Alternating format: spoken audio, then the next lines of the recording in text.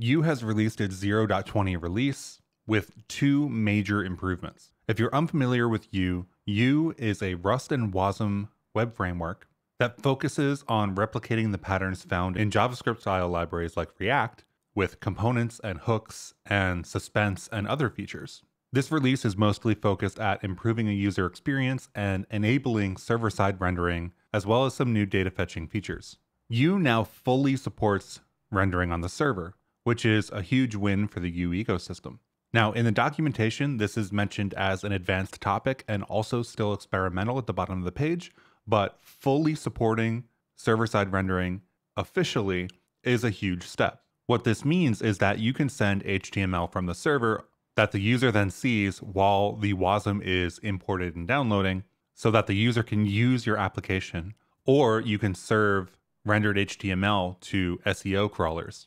The other big change is in data fetching, there's a newly added use prepared state hook that integrates with server side rendering. As far as I can tell, this use prepared state hook will run on the server and do whatever it needs to to fetch data, then serializing that data and sending it also on the client for you. So when your WASM rehydrates, you get the same state on the client that you constructed on the server. For data fetching that you're doing just on the client, Yew also now supports suspense, which is usually called render as you fetch, where you can rehydrate onto an HTML page, or if you don't have hydration, your WASM can boot up. And then as you render from the top down for your HTML tree, some components can mark themselves as not having the data they need to render yet. So that data will get fetched. And then when it comes back, it will finish rendering and hydrating if applicable. So, of course, I took a look at the new server side rendering support and I found a couple of interesting things.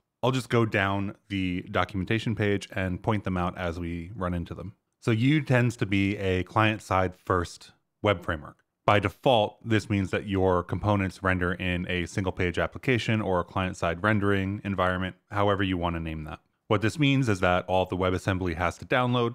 There's some skeleton HTML file that has a head and an empty body or a very limited body. And then your WebAssembly will boot up, run, and generate the DOM to insert into the body.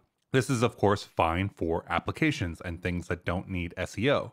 In some cases, this can even affect performance depending on the user's network. So now Yew provides a server renderer to render pages on the server side.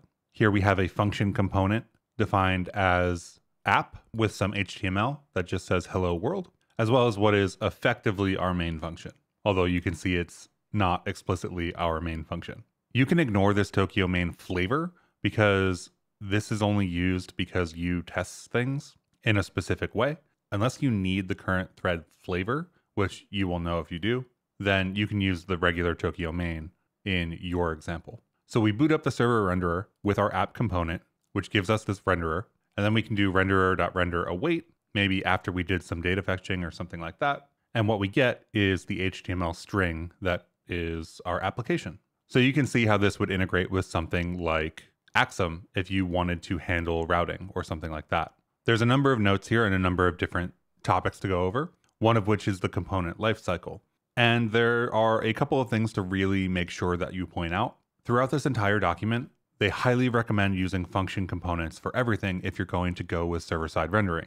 So this means in previous videos where I personally have chosen to go with struct components, I would then need to convert these to function components to avoid a number of issues. This is an interesting note, and I wonder if struct components are being phased out or if they are just being left in as a backup option or a fallback option when function components don't work out. And by that, I mean don't work out for a specific use case, not don't work out as an API. Similar to React, all hooks will run on the server except for useEffect or use effect derived hooks like use effect with deps.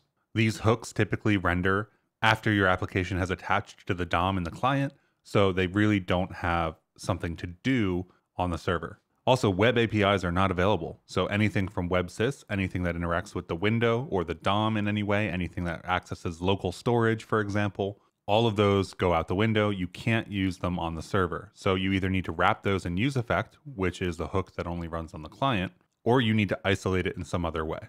And then we get to the note about struct components. So while it is possible to use struct components with server side rendering, There are no clear boundaries between client side safe logic like use effect, and lifecycle events are invoked in a different order than on the client side. Just from that statement alone, it makes me want to avoid struct components entirely on the server. But there is more. In addition, struct components will continue to accept messages until all of its children are rendered and the destroy method is called. We as developers would need to make sure that no messages possibly passed to the components would link to any logic that makes use of web APIs as we just discussed. This whole sort of danger block here about struct components makes me think that functional components should basically be the only way that you write Yew components unless you have a really good reason not to.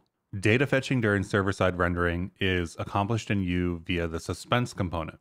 Now, data fetching between a server and a client in the same ways or providing the same data can be a complicated topic. But what Yew is trying to do with the suspense component is allow you to specify some fetching logic and then differing the behavior based on whether you're running on the server or on the client. So, what happens on the client is you specify some fallback UI, and that fallback UI, when the component is rendered, gets rendered. Then, when the data that you're asking for comes back in and you can render the actual component, it will render that actual component on the client, replacing the loading state.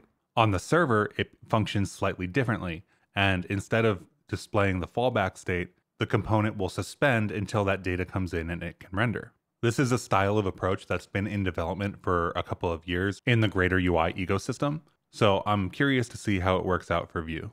And of course, if you're server side rendering and you have a client side bundle that you want to run, you probably are going to want to hydrate. Hydration is the process of matching an HTML string that you've rendered on the server with the client side code that is going to run and render. What this means is that your client side code doesn't have to fully execute a re render, it can inspect that DOM and reattach to the various places that it needs to reattach to without having to re-render the entire application, improving performance on the client side. Now, of course, to successfully hydrate HTML rendered on the server with client rendered data, the HTML from the server needs to match what's going to be rendered on the client. But sometimes that isn't true.